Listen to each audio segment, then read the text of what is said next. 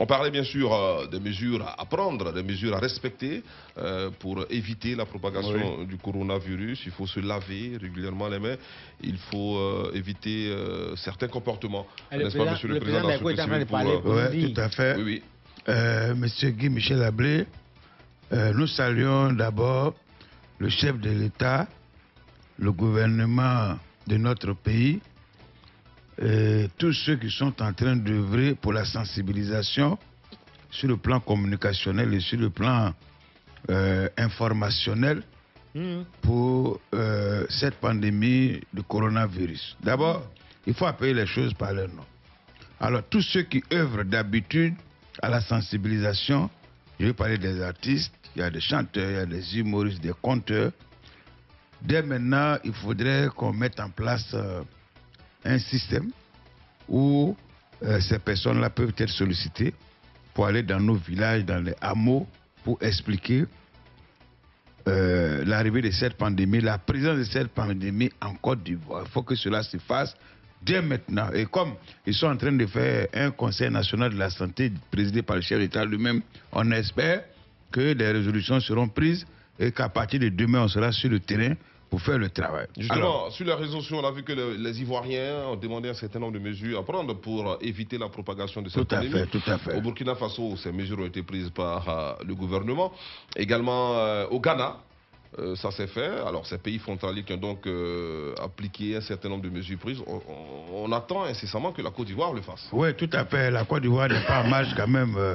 la Côte d'Ivoire est consciente. Maintenant, ce que nous pouvons dire sur la place publique, M. Guy Michel Ablé, nous allons à notre manière faire comprendre aux gens. Il y a quatre mesures, je crois, essentielles. D'abord qu'il faut, euh, il faut appliquer immédiatement. Se laver régulièrement les mains. Bon, c'est vrai que les musulmans le font, ils font les ablutions et tout, mais ce n'est pas suffisant. Il faut utiliser les produits, comment on appelle les produits là-même Les gels euh, hydro, hydro, hydroalcooliques. Eh, c'est le mot alcoolique là. Il faut qu'on fasse comprendre aux gens que ce n'est pas, pas l'alcool alcool qui... Voilà. Jean pour dire, je vais prendre ce produit-là et on dira que non, j'ai pris de l'alcool. Alcool, euh, c'est alcool, Non, non, c'est pas alcool, alcool, alcool, bien ou bien... Euh, les... non, non, non, faut expliquer on aux gens. on n'a pas dit hydro-boisson, on dit hydroalcoolique. Voilà, hydroalcoolique. Voilà. Ah, alcool, c'est alcool. il faut se laver régulièrement les mains. Ça, c'est important.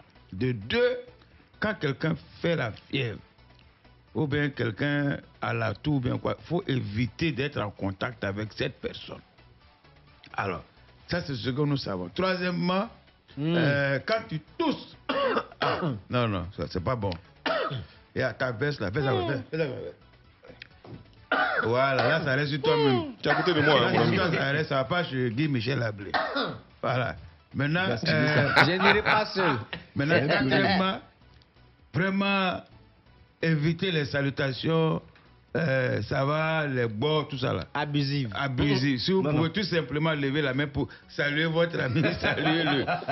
si on a pu retenir ces quatre mesures-là, je crois que dans un premier temps, on peut commencer à se sauver. Mhm.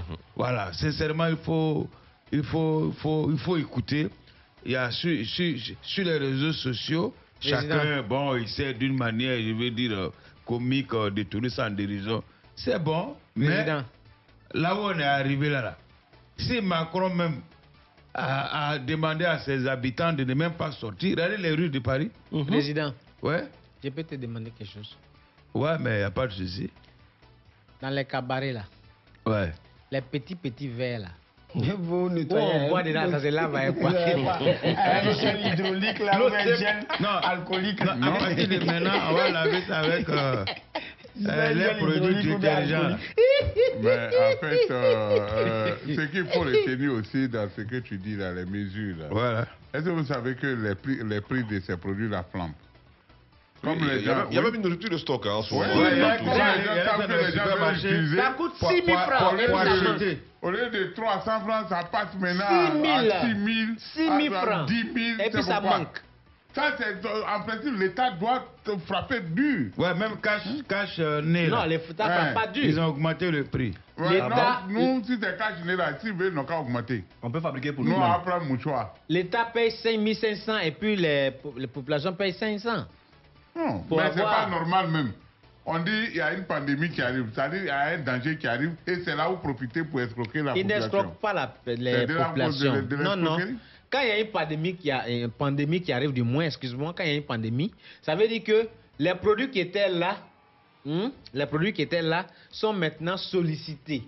Donc, ça dit les stocks là commencent à s'épuiser. Donc, Et donc Mais aussi, voilà la pourquoi- demande devient grande. Voilà Et quand pourquoi le devient- Ghana- Non, je viens. Quand la demande devient grande, les, les, les, les, les fournisseurs là, ils deviennent aussi chers. Donc ceux qui vendent là, qui revendent, deviennent aussi chers. Donc c'est l'État là qui veut sauver ses populations pour aller au vote là. C'est c'est l'État là qui va maintenant amorcer les prix maintenant qui ont flambé pour que les populations puissent avoir. D'accord, on va parler du